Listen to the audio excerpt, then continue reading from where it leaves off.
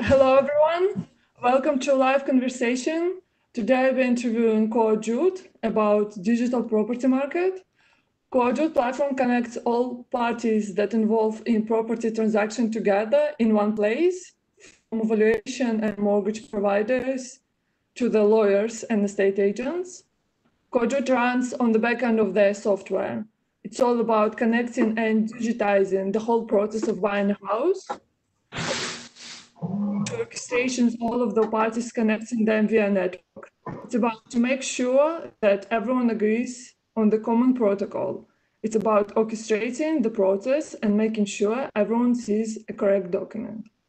It's about issuing a house on the. It's not about issuing a house on the ledger and moving ownership.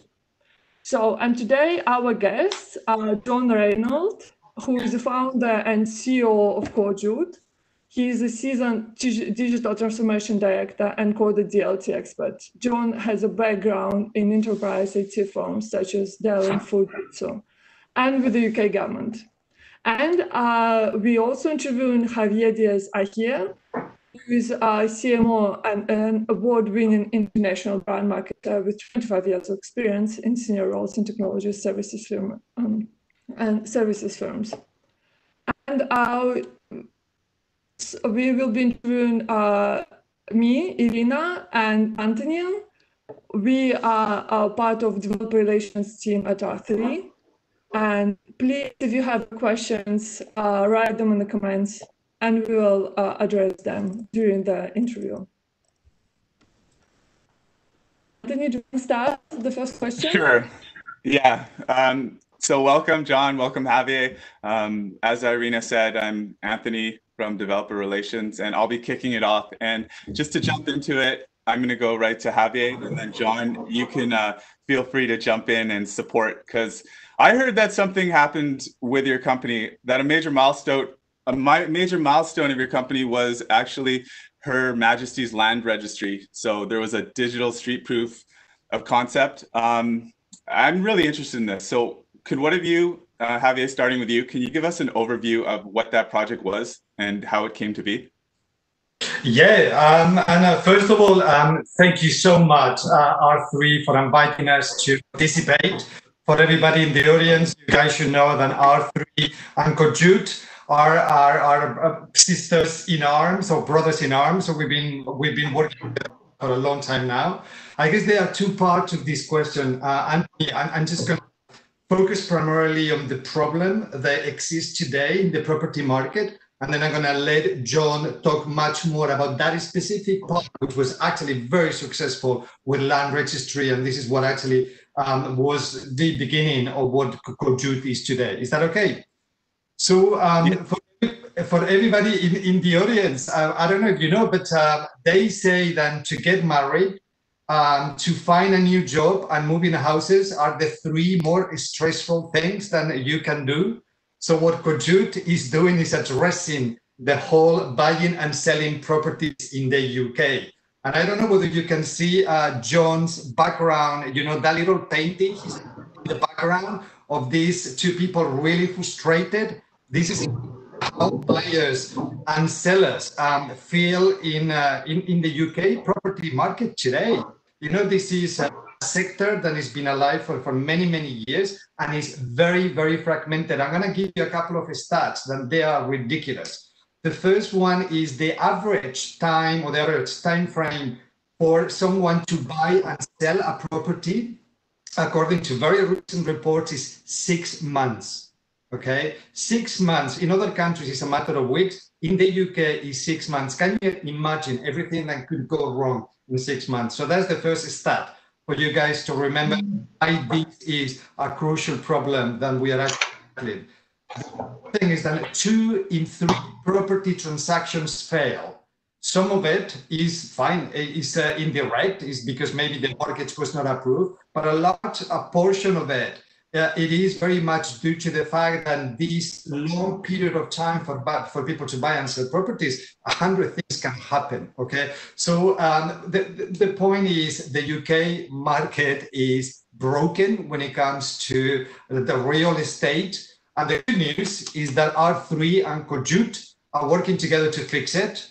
um, COVID-19, uh, which is uh, very much a very unwelcome um, event in our history, has been actually a catalyst for digitalization in, uh, in the property market. And also the UK government on the 25th of uh, May has encouraged the real market to, to get to grips and digitize. So that is okay. an overview. Can I? Okay, so coming from that overview, I have one question here, which I'm sure a lot of people are also wondering is what is up with the UK? Like, why are we taking six months? What's the major barrier compared to other jurisdictions? Like, can you sort of like illustrate just in a very um, like high level, like why are we so slow over here? So I would say, um, just to be very kind to the UK, because I, have been here for the last 26 years, and although I do have a very thick Spanish accent, I love the country. I would say number one is we are behind digitalization in comparison with other sectors in the market, and also with um, with uh, with other countries. So I think that will be definitely number one. I think perhaps um, there is an element of convoluted when it comes to the process of surveillances and conveyances. And just for everybody that just, just doesn't know the lingo, in real estate conveyances are the lawyers that will uh, specialize primarily on helping people buy and sell. So it could be quite convoluted. We know that, that the legal firms by nature are not very tech savvy.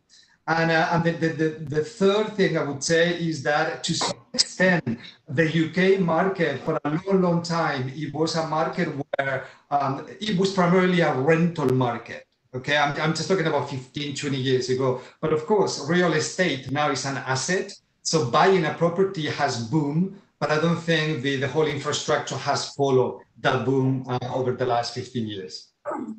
True, true. Okay, so that's sort of like where the market's at. And then I think Irina has some questions related to this. Uh, if you could uh, tell us about the life cycle of property transaction. Yes. Um, so I guess many people in the call has been through buying and selling. Um, um, so you you start by really you as a buyer decide by you know I want to buy a property and then there is a seller out there that you don't know um, and then and, and then in between the buyer and the seller there are a number of parties involved okay and there are many many parties involved. I'm just gonna pick a one simple example which is I am a first time buyer, so no chain, and I'm gonna buy it from somebody that has no chain. Okay, so that's the, a really simple example. Between me buying and the other person selling, you will have a lender. The lender, like Nationwide, Barclays, will be the guys that will give you a mortgage. You've been a good person. Um, you will have an estate agent that will help you um, to uh, have conversations indirectly with the seller and will show you the properties and will allow you to to in a way uh, narrow your thinking and in some cases consult with you so that's the second player right there is a third player which is the broker.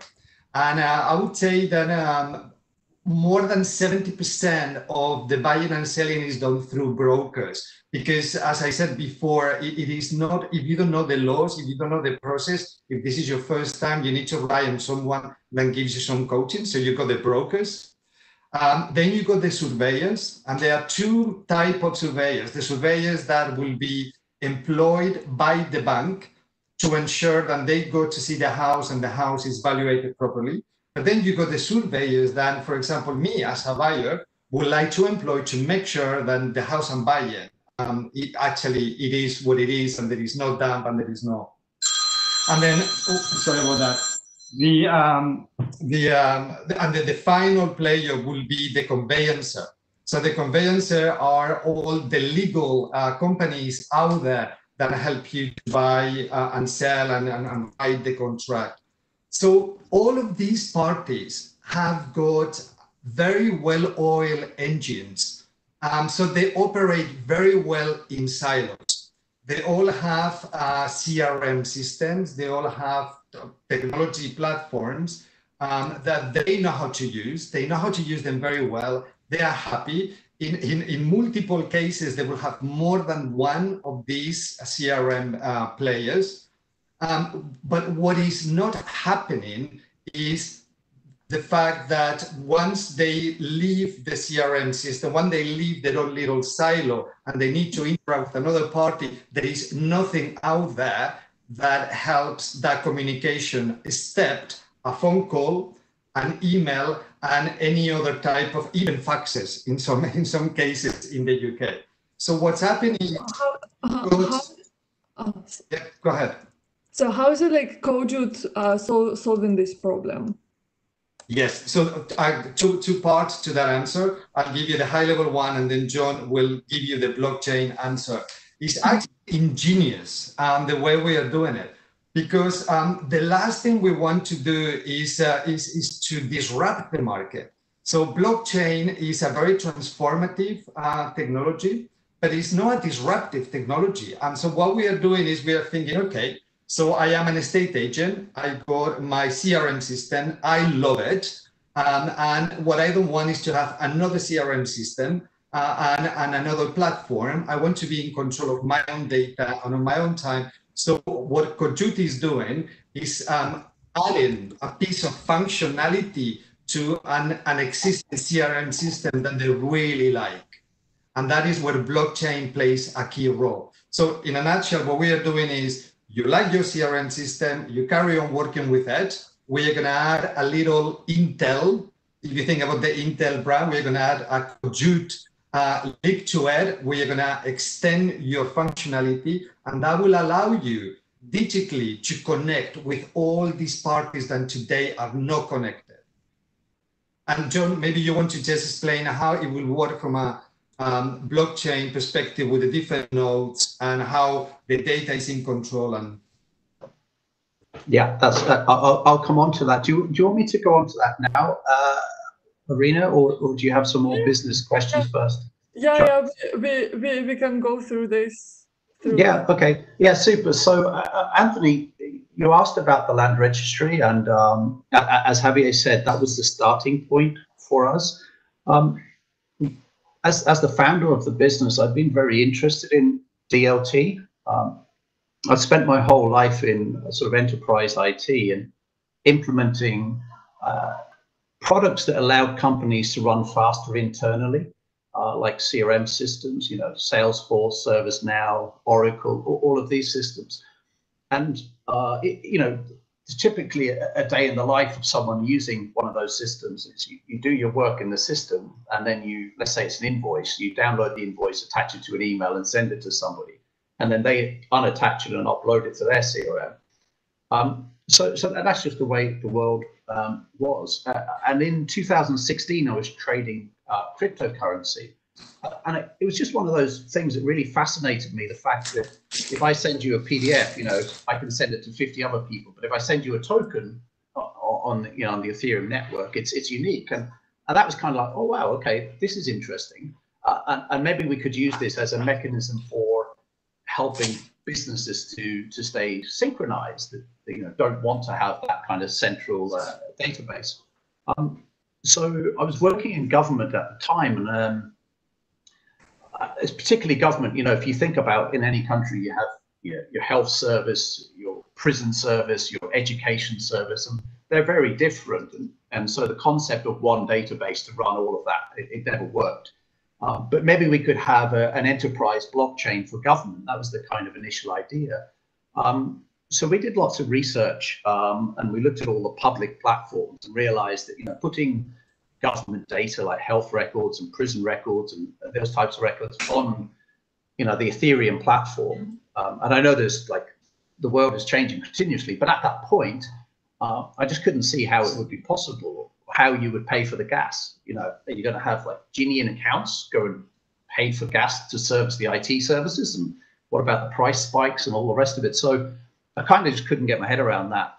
So then we started looking at the permissioned networks um, and uh, we, we looked at a whole whole bunch, and, and then we kind of came across R3 uh, Corda. It. Was just the time you were open sourcing, and and it was you know we just thought, wow, you know this is this has been built by banks. You know, I, read the white paper, um, and I just that one picture in the white paper where you've got the kind of the world as it is today, and then that sort of shared application.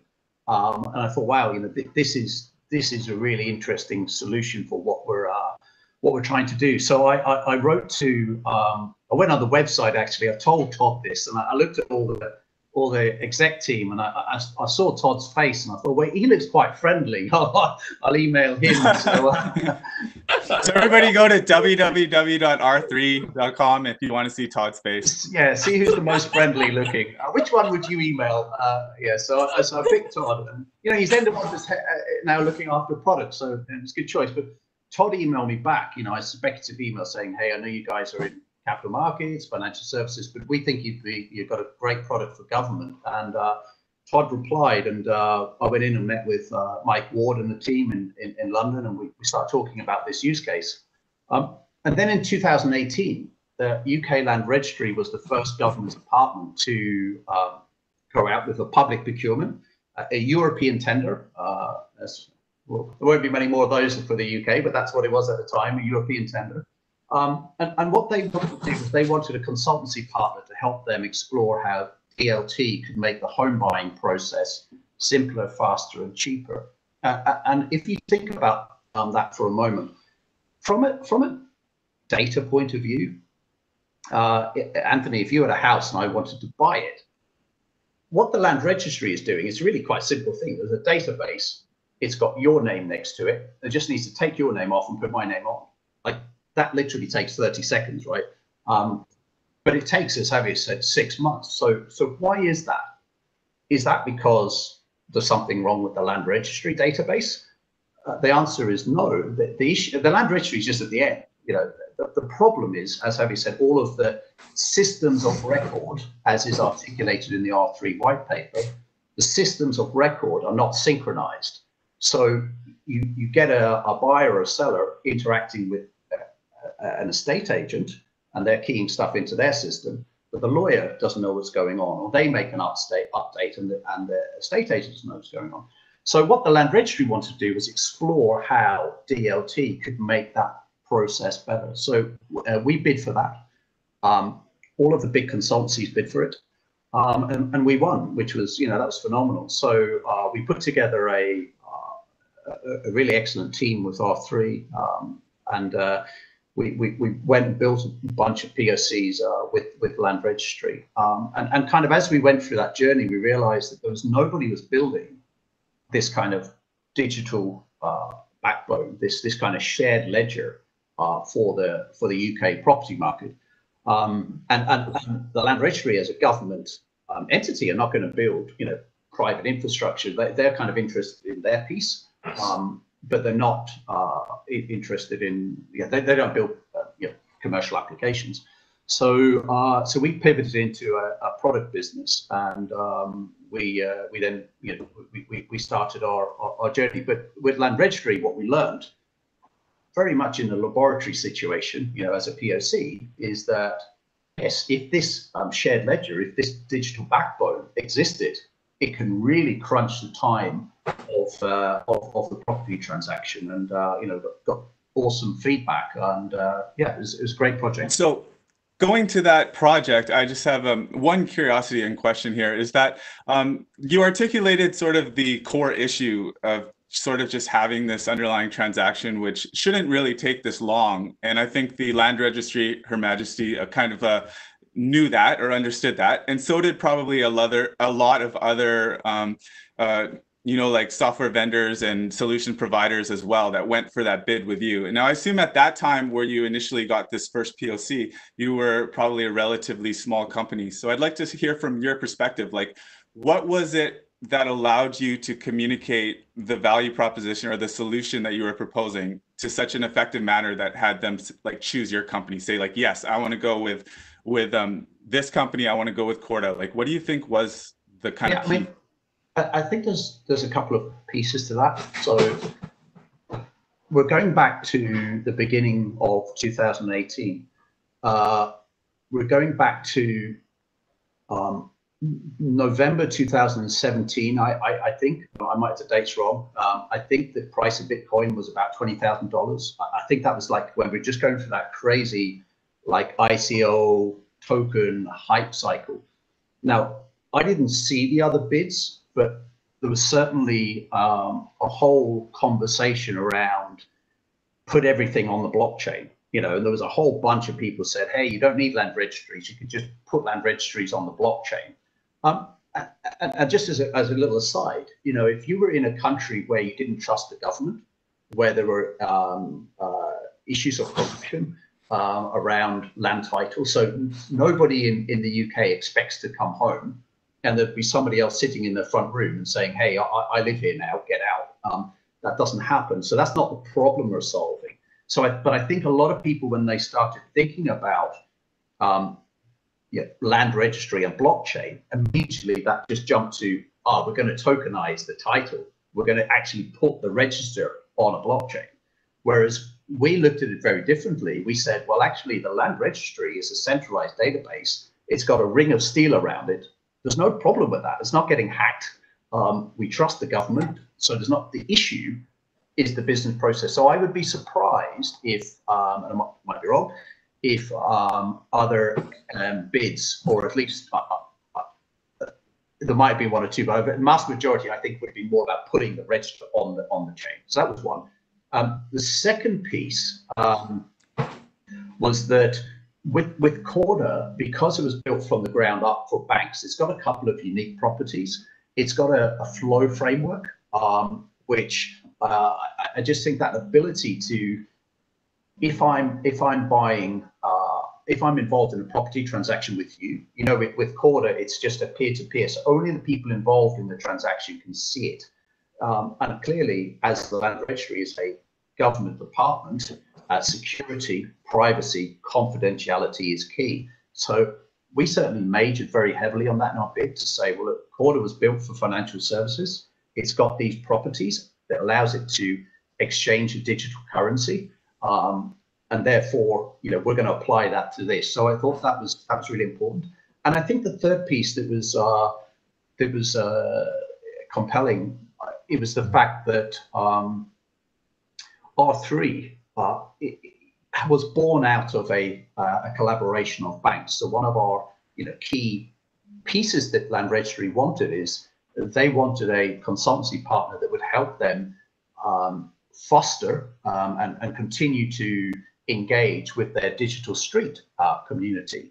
And, and we were able to really point very strongly to the fact that, you know, R3 had, had done that. It had built a collaboration of banks. It had a thriving open source ecosystem, and that we would take that that uh, that um, that spirit into into the the project, and and, and we did. Nice. So for all those out there that are new to Corda, um, this is one of the things that I kind of like uh, promote and really cheer about is what um, John was talking about, the flow framework. So Corda as a platform actually has something called a flow library, which abstracts away a lot of the DLT functionality. So it allows you to leverage things like private permission network messaging without sort of like having to deal with nitty gritty things.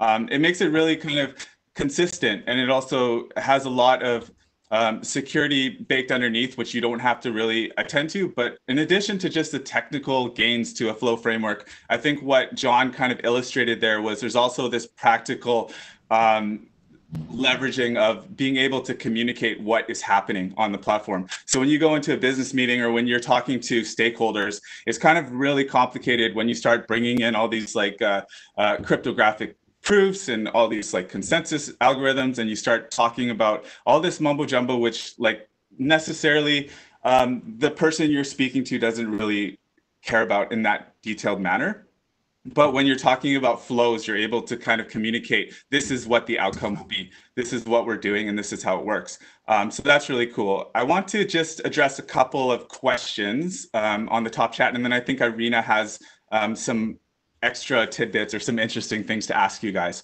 So let's just address a few questions. I think we'll go to Javier for the first question. Um, so, uh, uh Anthony, if you could, if you could please check if there are any questions from the audience from YouTube comments.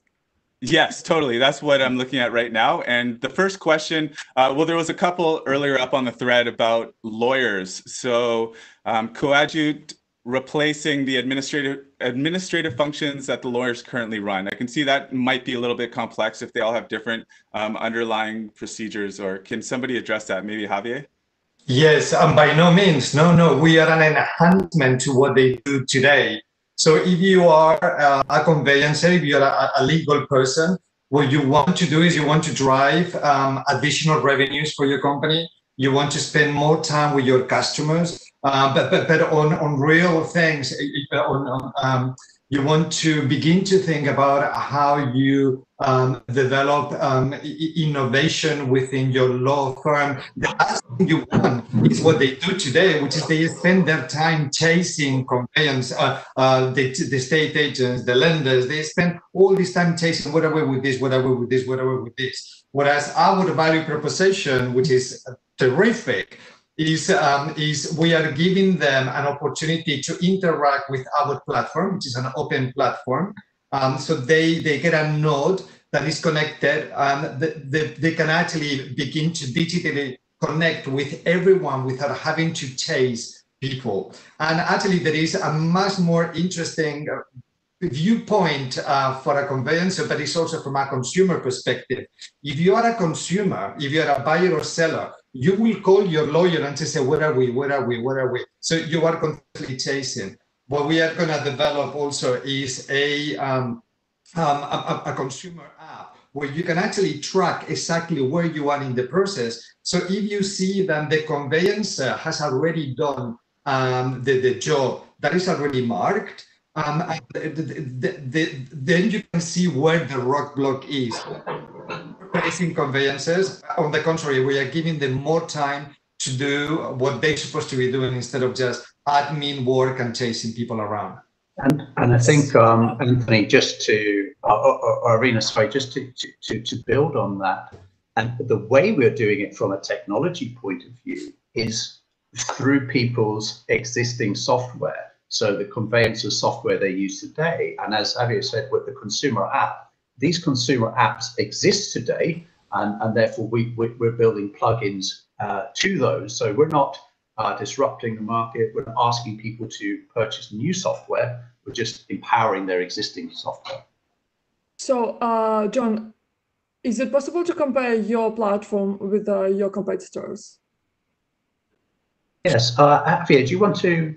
yeah. So a couple of things. Um, as I commercial guy, I will always welcome competition. I think competition drive innovation. So, but I would say that our biggest um, competitors are still the behaviors of the market player participants, which is what I indicated right at the beginning, why perhaps the UK is still a little bit behind other countries with regards to digitization, you know? So uh, I, I do things this way and I'm, I'm not gonna change. So I would say that this is perhaps our biggest uh, competitor. I am not aware of any other company in the UK that has got a blockchain based open platform that is not disruptive, that is connected directly to CRM systems that they are very well established and is building a tremendous relationship with the seven, 10 uh, players that has got 90% of the market share in this, in this country.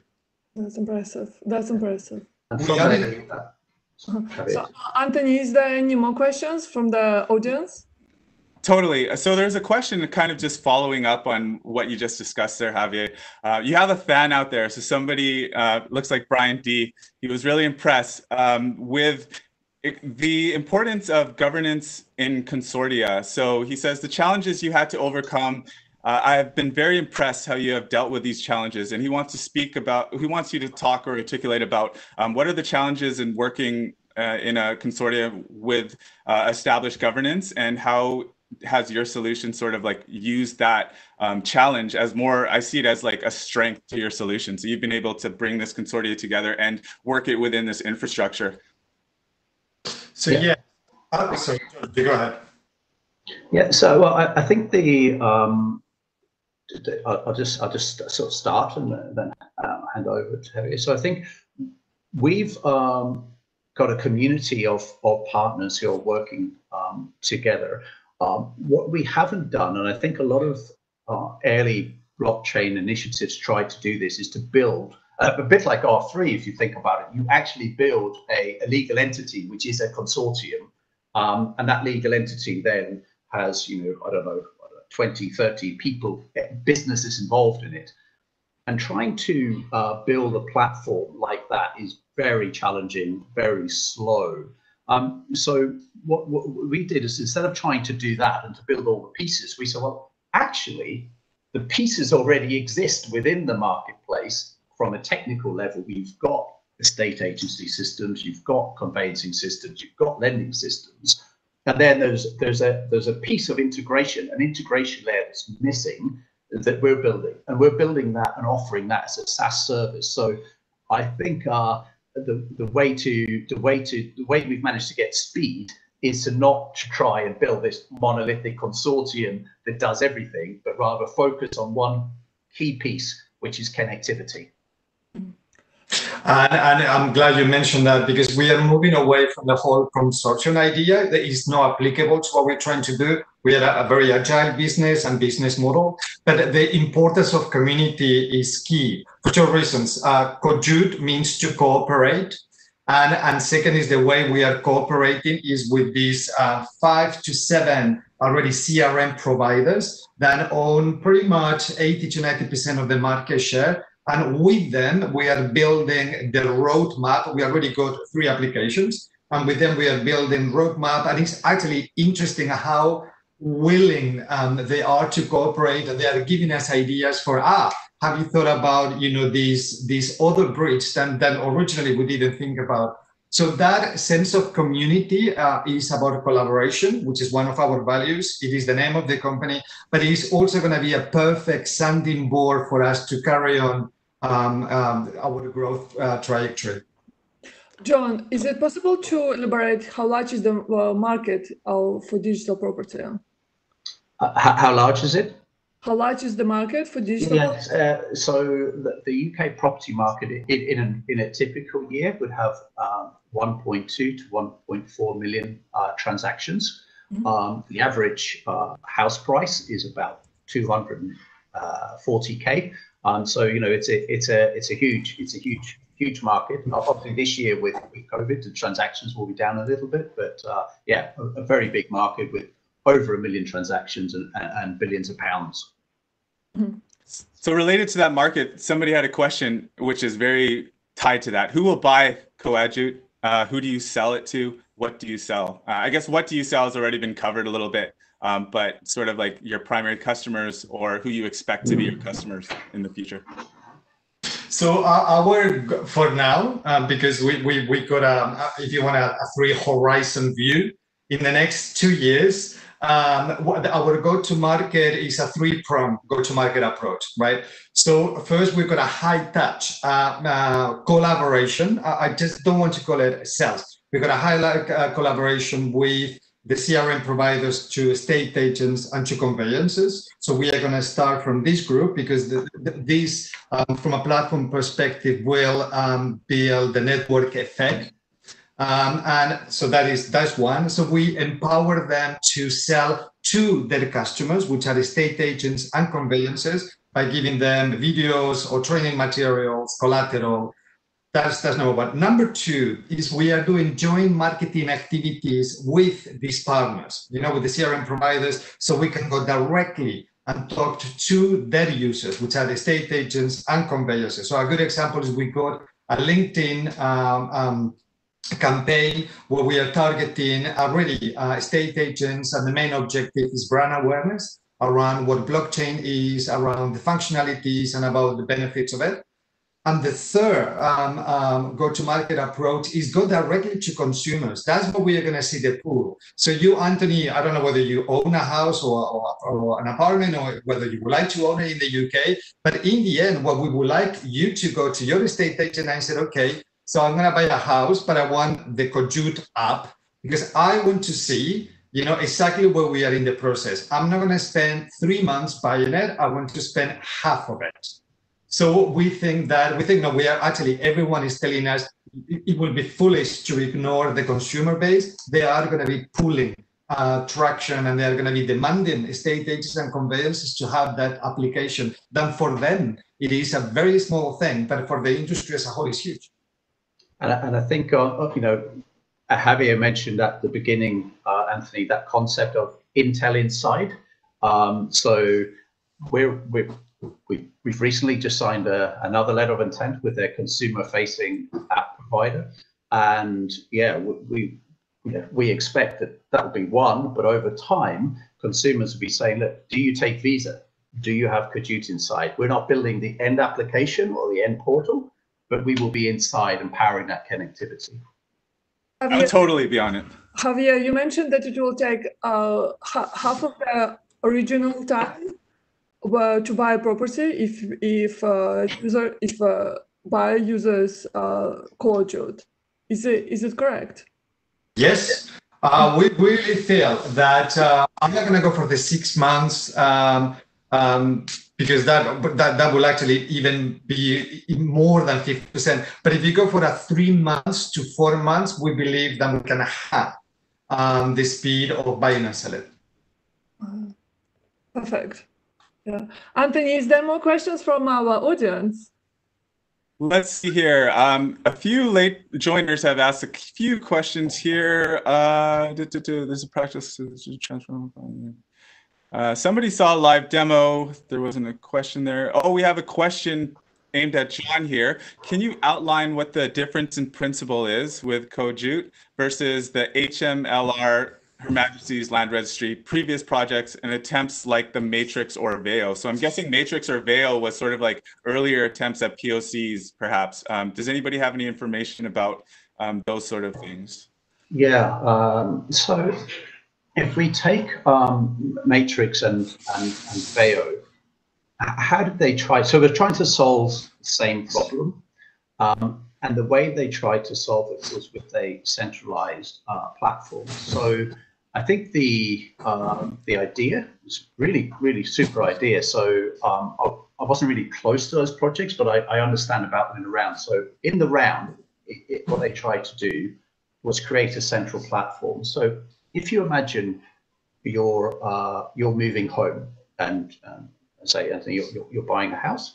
Um, and you're buying my house, you could log on to those platforms and you could see what was going on, assuming that your estate agent, your conveyancer, your lender, your broker also logged on and, and put the information into this platform. So it's like a, a central source of truth. So of course that would be awesome if you had one single source of truth. And that's what we're trying to create. So that's how they did it. It was one central platform. Everybody put the information in there and then everybody could stay in sync about what was going on. I think one of the challenges with, with that is that what you're doing is you're creating this one like monopoly in the marketplace. And we've seen that in Australia where there's an organization called uh, PEXA. Um, and again, not from that market, and I, I, don't really know anything about PEXA, I'm not commenting on them specifically. But uh, there's been a lot of conversations there about now there's a monopoly position.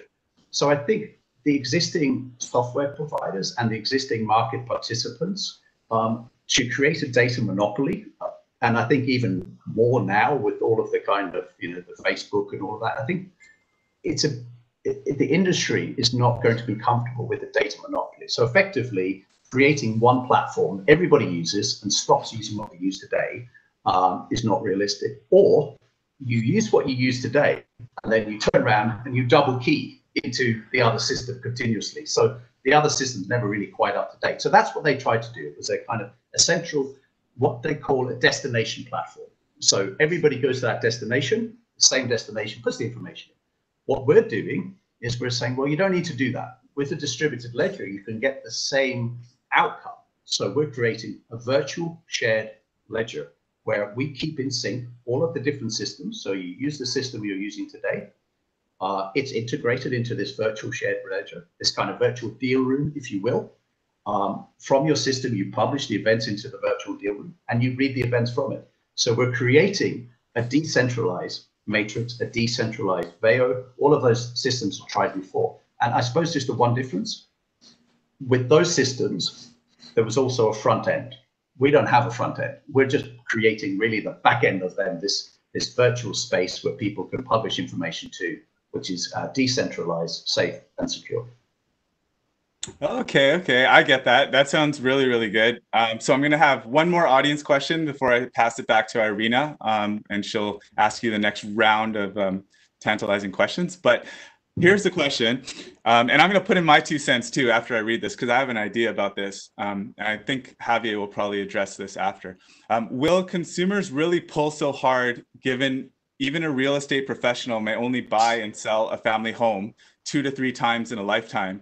Um, so right off the bat, my two cents to this is I think the solution will have traction with um, basic basically the consumer market. And the reason I think that is because I'm from Canada and we have something called uh, uh, provincial, we have provincial licensing for uh, purchases of vehicles for automotive.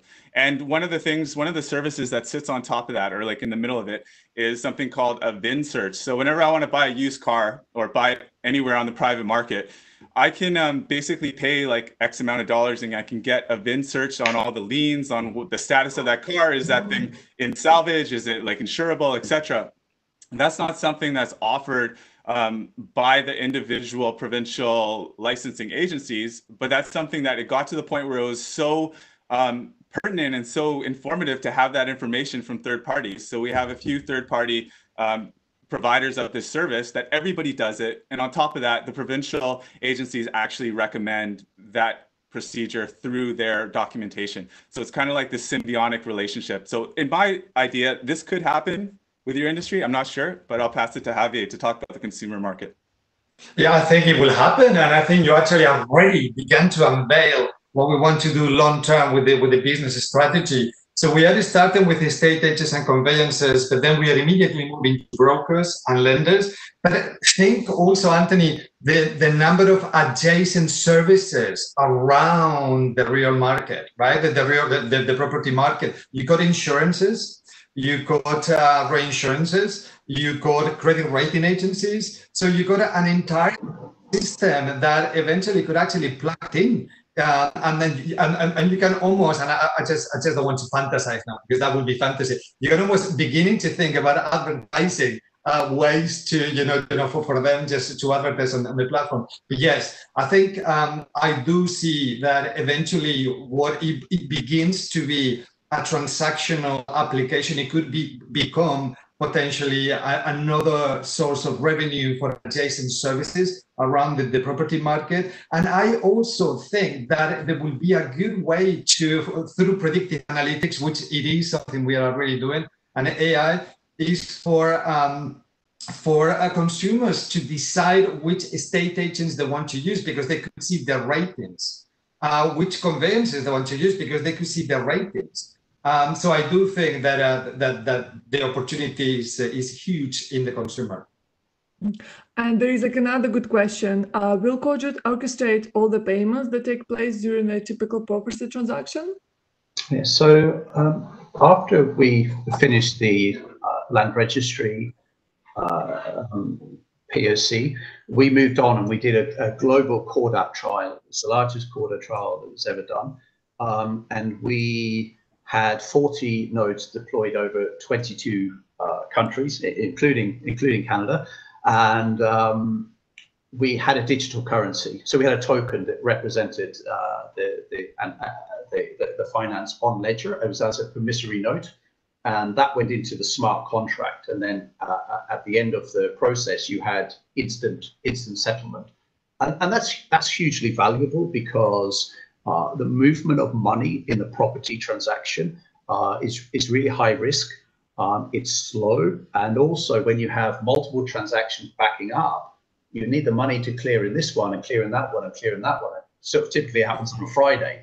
But this concept of being able to settle anytime, 24 7, 7 you know, is, uh, is really valuable. However, having said that, um, in this release and what we're doing now, we're focusing on the, the workflow um, piece but certainly with all of the uh, ever increasing and accelerating interest in digital currencies, uh, building on the Corda platform, which is now becoming the kind of de facto uh, platform for digital currencies. Uh, we see that, as Javier said, there are multiple horizons, but we see that um, law firms, uh, solicitors, lenders um, would want to, over time, uh, settle the financial leg of the transaction on, on Ledger as well.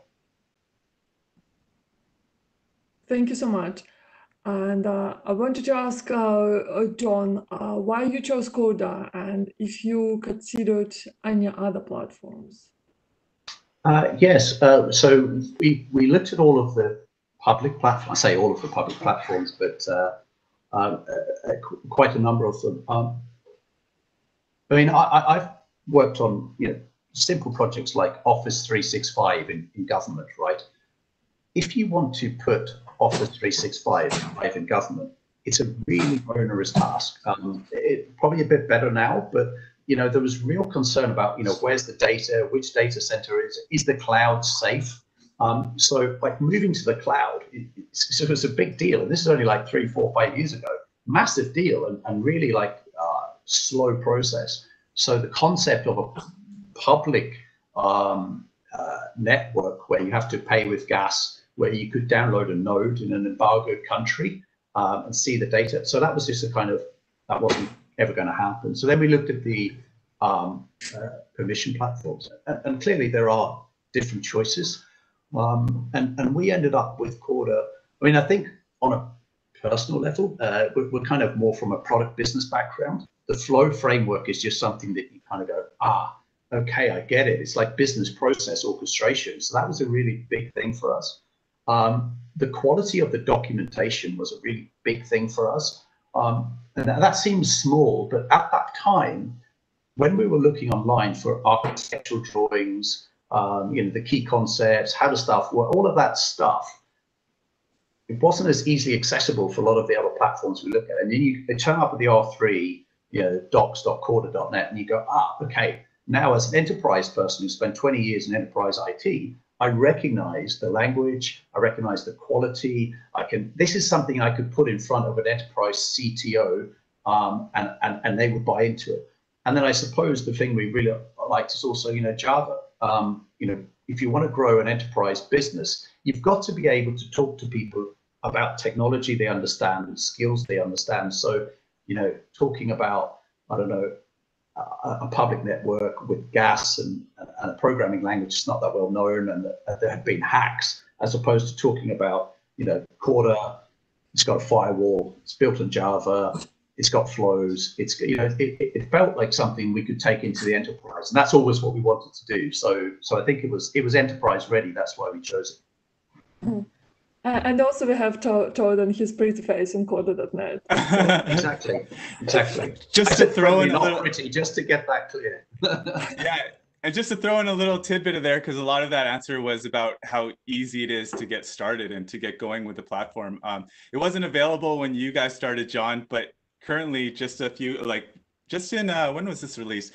End of May, we actually released something called training.corda.net. So once you have the key concepts, once you have that um, sort of like uh, documentation on how things work and where you want to go, when you're actually hitting the grindstone and start coding, you can go to training.corda.net right now and it'll walk you through um, a stepwise uh, incremental learning process. Like it's a full course we got um, seven modules and basically it'll get anybody from scratch up to the point where they can deploy real live Corda apps. So um, yeah and i mean I, I, should also add to that anthony one of the things that r3 had and we were maybe uh, the first ones through this uh, there's the uh, entrepreneurs in residence um, I, I, think we we kind of were offered like come and work out the office for a while john we, we moved in and um, then we became EIR. So I think a program might have been built kind of around us. we, we, never left, you know, they couldn't get us out, but uh, and that was good. But then there was the uh, the ventures team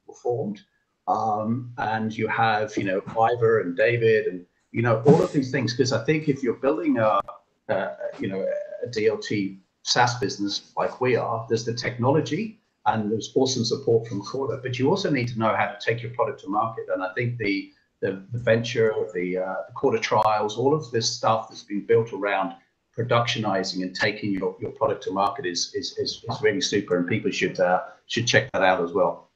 Yeah, yeah, they do an amazing job. Yeah, like to to put together all the startups and help them. Yeah, it's it's pretty valuable. And uh, John, do you have like a, do you think like you can point out which uh, comp components of Corda were the most useful for your business?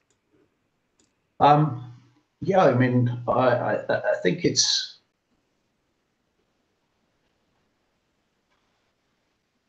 I'm trying not to go over what I've gone over before. So in terms of you know the hmm the the, the flow frameworks, the there's always been this kind of concept with Corda of Mhm. uh, off-ledger integration. You know, uh, for us, we're, we're we you know people talk about, a lot about blockchain interoperability, like how do blockchains talk to each other, and I, I kind of always found that an interesting but kind of bit of a sort of side conversation because the reality is how does blockchain how do blockchains talk to the rest of the databases that exist um, so I, I think that uh, ability to you know, integrate and connect to the node simple apis and to trigger flows and to trigger updates Mhm. um, i think more recently Corda accounts has been a big thing for us um, being able to have multiple identities on the node uh, that's been really important because you know we're not modeling one bank, we're modeling like thousands of estate agencies, right? So uh, I, I- think the uh, you know the flow frameworks, uh, the, the, the accounts, the, the easy integration, and the fact is enterprise ready. You know, Corda Enterprise comes with a whole.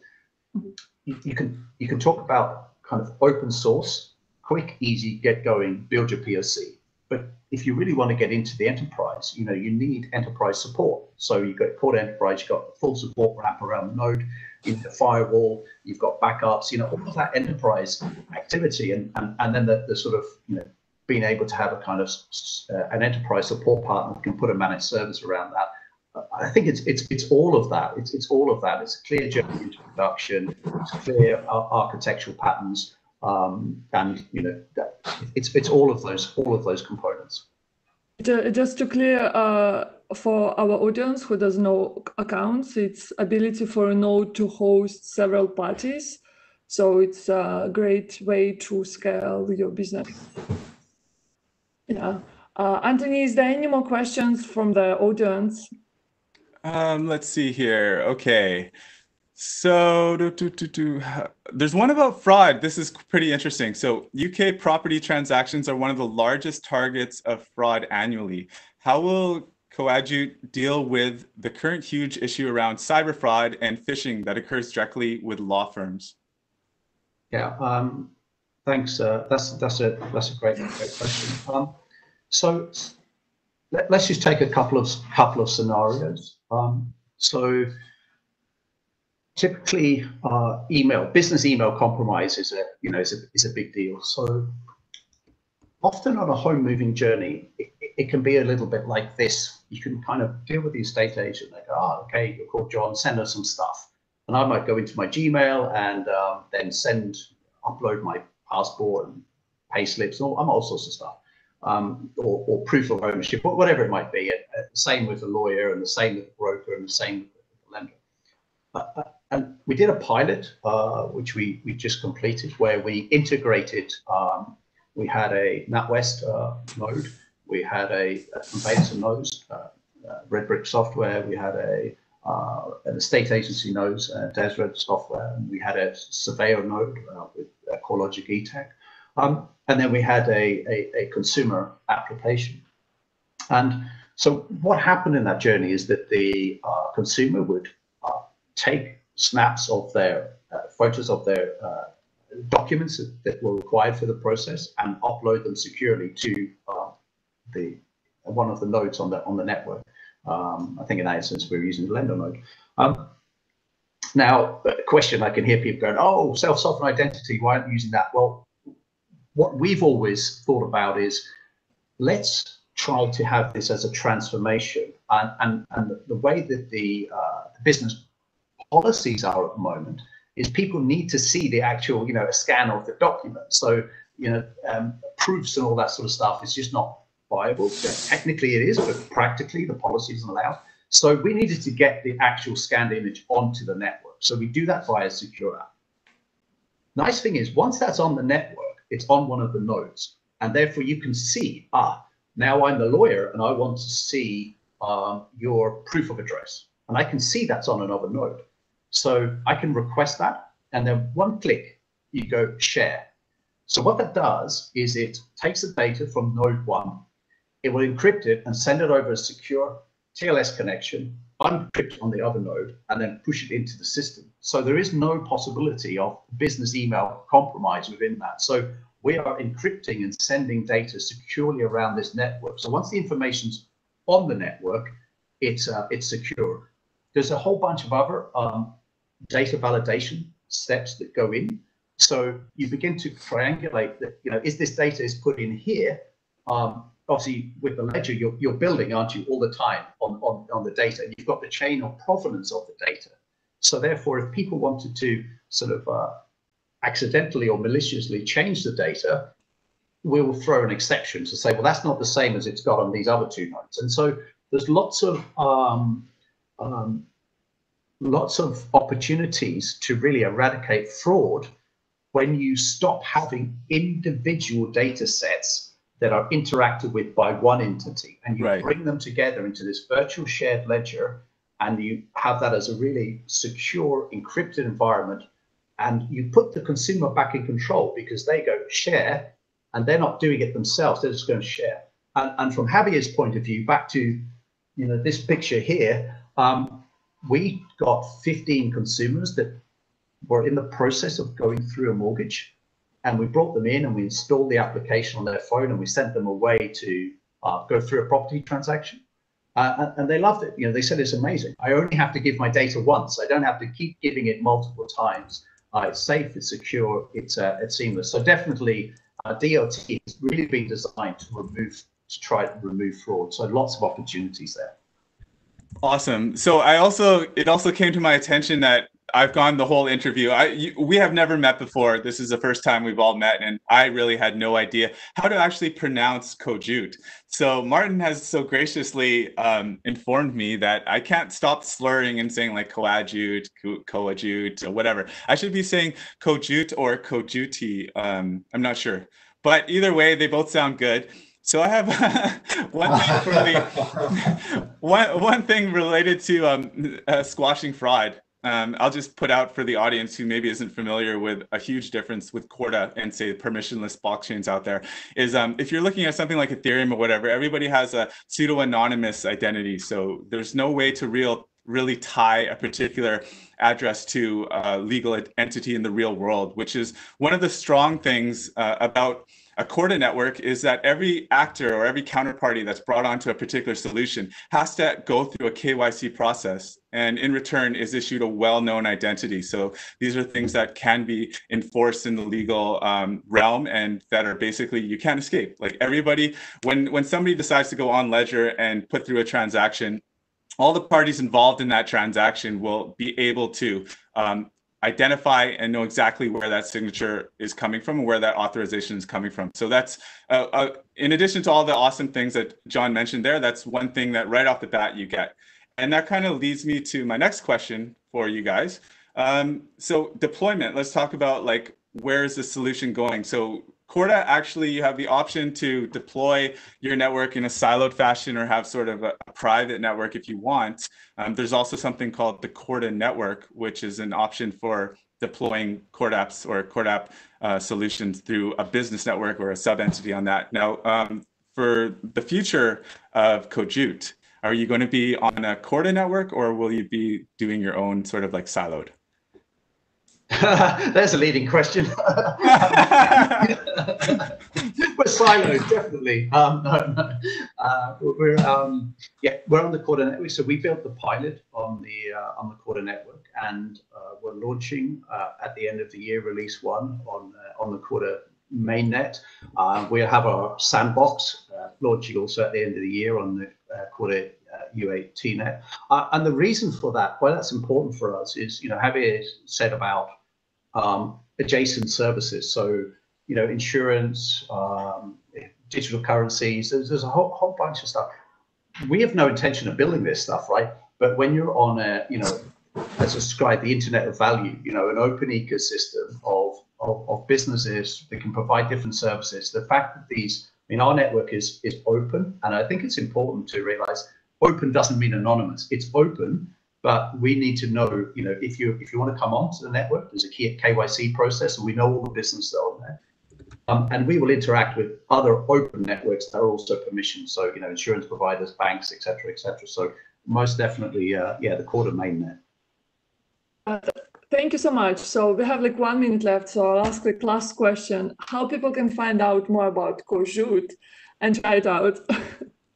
Okay, so um, if you go to www.coadjute.com, you can see a very old, uh, haggard website that we are now revamping for the next uh, two or three months. And we are planning a major overhaul of the um, staging website from September onwards. But of course, they can always come and talk to our uh, because I know that in R3 um, website, if you go to the real estate, we have been featured there. Um, and, um, and yes, through LinkedIn, uh, where we are very active. Yeah, thank you so much, guys. Thank you, John and Javier, for amazing interview and for asking all of, uh, answering all our questions. Thank you. Thank, thank you, Ryan. Thanks everyone for that joining. That was perfect. Thanks, guys. Thank you, audience. Thank you. Thanks, everybody. Thank you. I just want to say that we have a next live conversation with the Bond180 in two weeks. Please join us. Bye-bye. Bye. Bye. Bye.